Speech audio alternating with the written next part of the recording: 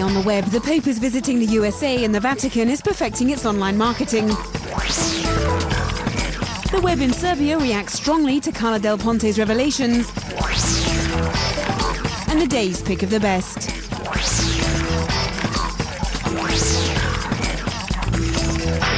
Yesterday, Pope Benedict XVI began his six day visit to the USA. A marketing campaign has been launched online to boost the Catholic Church's image there. This site has been especially created for the occasion. It is broadcasted live and follows the Pope's every move. This is a first for the Vatican.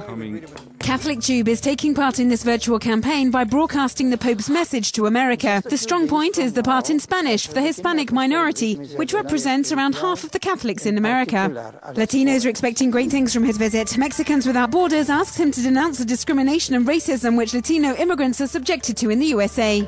Another question is how the Pope will approach the paedophile priest scandal which erupted in 2002.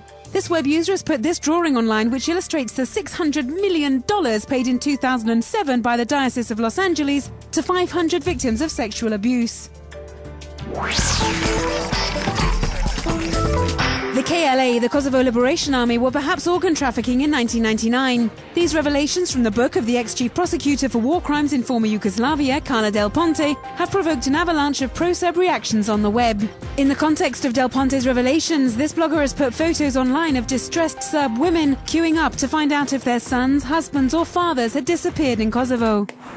This video is even more extreme and exposes the crimes that the KLA would be capable of as terrorists. It quotes notably the ex-chief prosecutor's book, a link that sends you to a false KLA website. The objective is to shock people and to list the crimes that the army group has committed.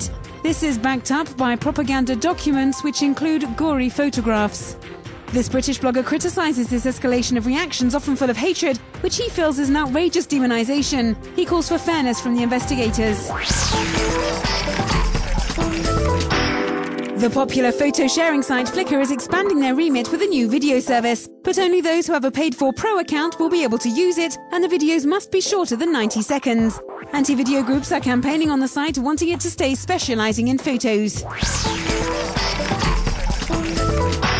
Internet inspires the most daring forms of expression. The latest trend on the web is erotic blogging. A new category has been created in the International Internet Creation Festival's competition in Romans sur Isère. Amongst the finalists are the erotic universe of a woman or extravagance. Attention please, vulgarity has no place here. The authors are self-professed poets.